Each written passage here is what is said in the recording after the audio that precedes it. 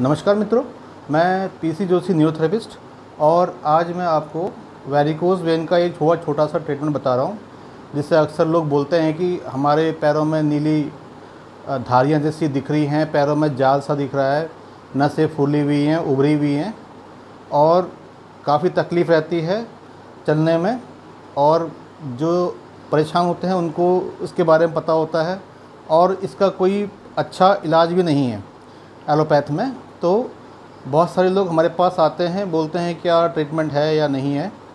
देखिए ट्रीटमेंट है न्यूरोथेरेपी में, लेकिन थोड़ा समय लग जाता है। कभी कभार ज़्यादा ख़राब स्थिति में लोग आते हैं तो फिर और भी ज़्यादा लंबा समय लग जाता है। तो हम देखेंगे, एक छोटा सा एक ग्रामबान ट्रीटमेंट है, जिसे आप घर में चार से पाँच बार डेली करेंगे तो आपको फ़ायदा होगा। तो हम देखते हैं किस तरीके से हमें करना है। हमें थोड़ा सा टेलकम पाउडर ले लेना है। इस तरीके से। और ये कान के यहाँ से यहाँ तक ऐसे हमने इसको लगा लेना है।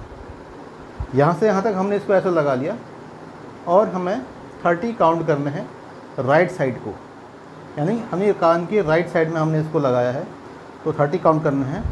One, two, three, four, five, six, seven, eight, nine, ten eleven twelve, thirteen, fourteen, fifteen, sixteen, seventeen, eighteen, nineteen, twenty twenty one, twenty two, twenty three, twenty four, twenty five, twenty six, twenty seven, twenty eight, twenty nine, thirty. इतना हमने किया। और यहाँ पे shoulder cuts होते हैं। इस cuts के यहाँ से बगल से ऐसे करते हुए हमने इसको पीछे की तरफ़ प्रेशर करना है। One, two, three, four, five six. ये हमने ट्रीटमेंट किया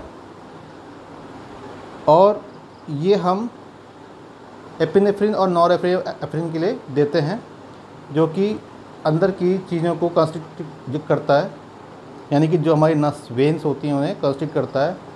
जो फूली भी होती होती हैं, वो धीरे धीरे करके कम शुरू हो जाती हैं। इसको आप एक एक मिनट के अंतर पे तीन बार देंगे और दिन में तीन से चार बार देंगे।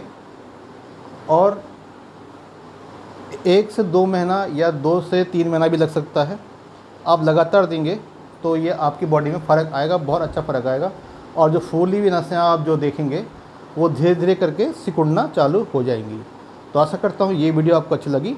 तो होगी तो आप इसे लाइक सब्सक्राइब शेयर ज़रूर करें और अधिकतम लोगों तक पहुँचाएँ। और आप ये खुद भी कर सकते हैं।